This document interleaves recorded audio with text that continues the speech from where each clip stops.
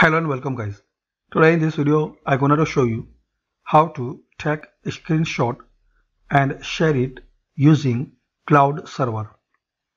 So first of all you need to download a Chrome extension and also it's available on different platform. So click on apps. Now click on web store. And search. Lightshot.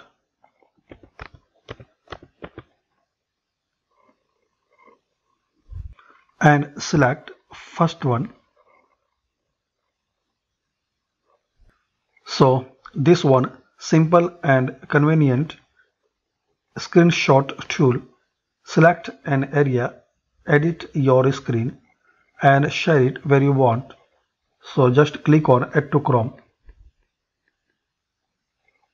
Again click on add extension. Now wait for a while. So it's a useful feature. You can take screenshot and share it in a few clicks. Select any part of the page, edit screenshot in place, save on a disk or upload to the cloud. Search for similar screenshot so after download just click on this uh, icon take a screenshot. Now select an area which you want to. Take the shot. And you can edit from here.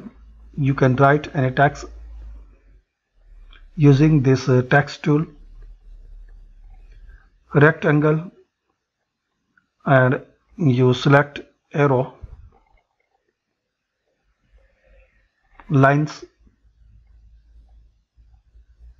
and now very easily if you want to share so just click on share icon and event and if you want to download on cloud so click on in here upload to printscreen.com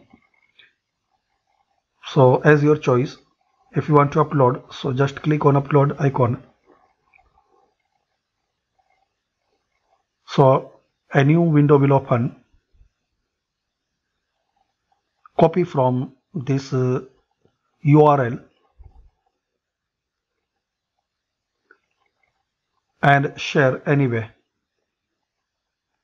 So friends is the useful tool for taking the screenshot.